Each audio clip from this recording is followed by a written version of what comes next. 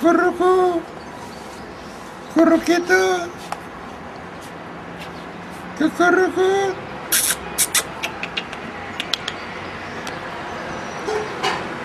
Pues ahora se está usted enterando.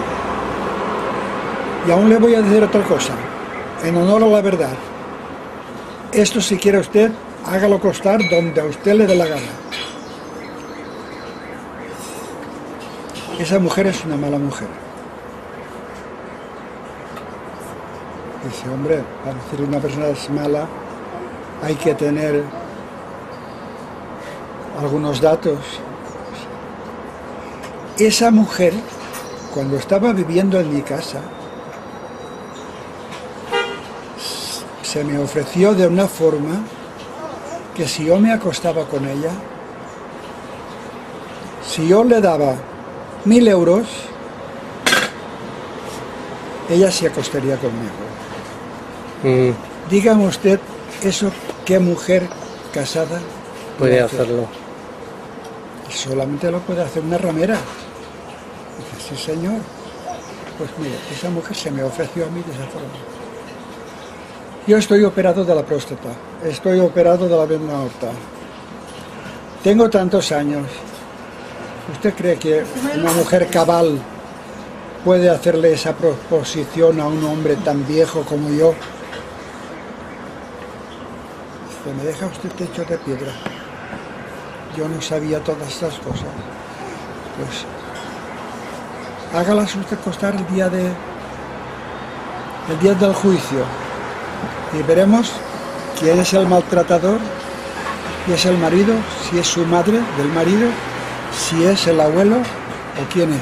Ha venido dos, dos notificaciones, uno para ella, Sí. otro para ti, otro para mí. Sí. Eran tres. Sí. Yo de eso no estaba enterado. Pues sí, señor.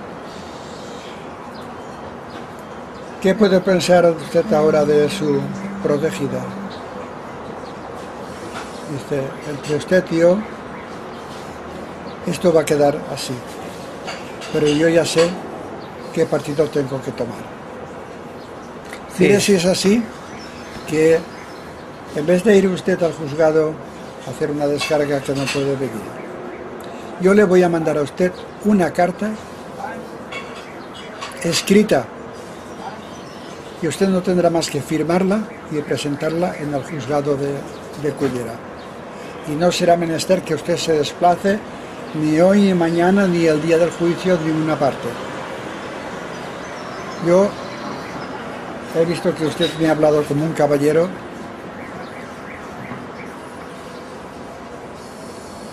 Pero yo tengo que hacer Claro. el trabajo que ella me ha mandado.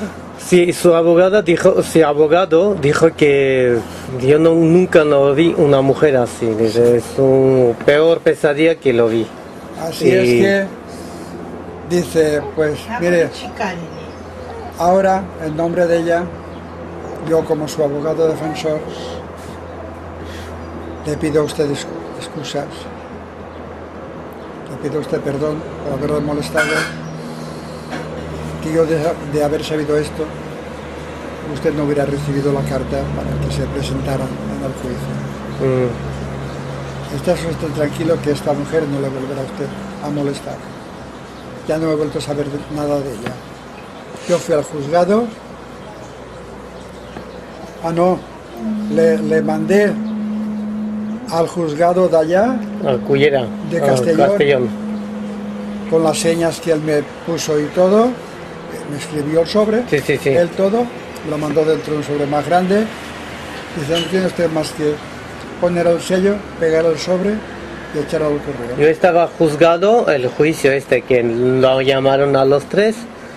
Entonces lo preguntaron, digo, ¿no tienes vergüenza delante del juez? Digo, ¿has hecho den- denuncia contra este hombre que te ha dado pan, casa, todo? Dice, no, contra él no tengo nada.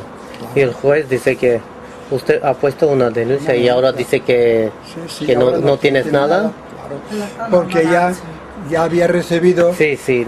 el, el abogado de ella y ya la había preparado y le había dicho, tú tienes que levantar esa denuncia porque el día del juicio tiene que salir Ujú, y tenemos que decir por qué este señor no se ha presentado.